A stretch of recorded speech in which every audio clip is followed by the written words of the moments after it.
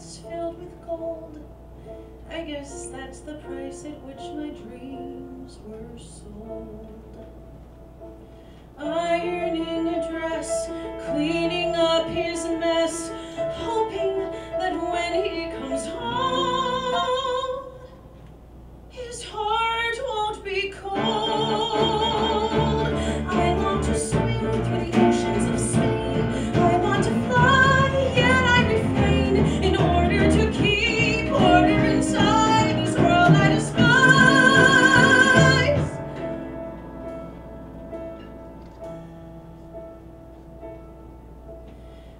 doing all the dishes, drying them with rags is not